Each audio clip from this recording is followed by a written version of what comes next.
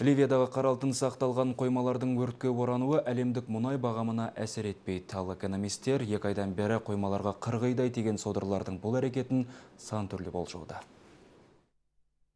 Осыдан екі ай бұрын Ливиядағы экстремистік топ елдегі ең ірі мұнай терминалына шабуыл жасаған болатын. Көп замай содырлар кішігірім қара алтын сақталған нысандарды да зымыранмен атқылады. Осыған байланысты бұл ошақтарда уақытша мұнай өндірісі тоқтатылды. Айта кетейік, Муаммар Каддафидің кезінде мұнай экспорты ел экономикасының басым бөлігін құрап тұрған еді. Алайда сарапшылар қазіргі Ливиядағы жағдайды бағалай отырып, елімізге салқыны тие қоймайды деген пікірді бір ауыздан айтуда.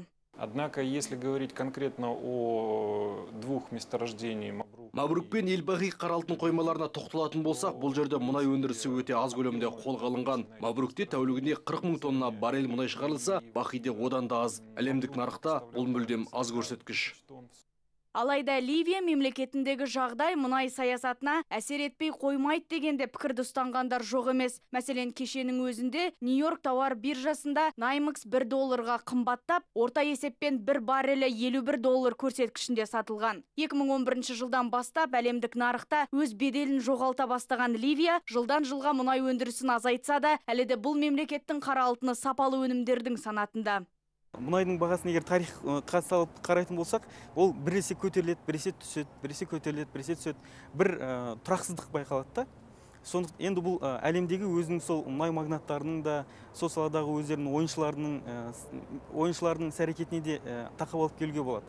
Бірақ бір нәрсені бір нақ анық айтуға болады. Ол біздің экономикамыз шынында да мұнайдың бағасына қатты тәуелді. Мұнайдың бағасы өссе біздің экономикамызда бәрі жақсы. Мұнайдың бағасы төмендесе біздің экономикамызда бәрі нашар Бүгінде Сауд Арабиясы мұнай өндіретін ірі магнаттардың ішінде көш бастап тұр. 105 доллардан 45-ке бірақ түскен қара алтынның бағамы тек осы елде ғана қылаң бермеуде. Алайда экономистер алдағы 5-7 жылда жағдай өзгеріп мұнай магнатына ақш айналуы мүмкін деген пікірлер айтуда. Айжан Шамшидин Мұрат Тайжан, Алматы телеарнасы.